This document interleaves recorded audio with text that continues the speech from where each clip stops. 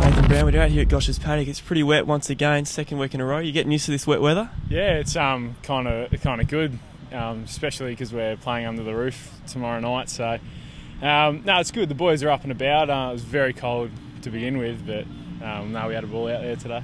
You pulled up pretty well after your first game in 18 months last week. Yeah, I was um, very very sore Wednesday night after the game, very stiff, and but uh, pulled up very well, and um, and the nine day break helped.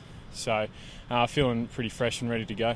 Tell us a bit about how you felt running out there for the first time in about 18 months and running out in front of 90,000 odd people. Yeah, it was pretty good. It was um, just all these memories come rushing back when you run out there, and then quickly turn to what you have to do and um, to to get the win. So, but no, it was fantastic to be back out there with the guys. We're playing against the Western Bulldogs this week, and they don't have too many well-known full forwards, especially without Barry Hall. You still think you'd be playing key back this week?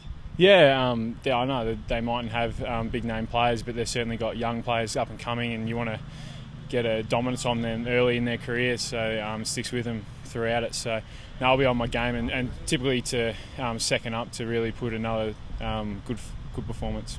And what have Rocket and uh, Mitch Hahn been like during the week? Are they giving you much by word of advice about the Western Bulldogs?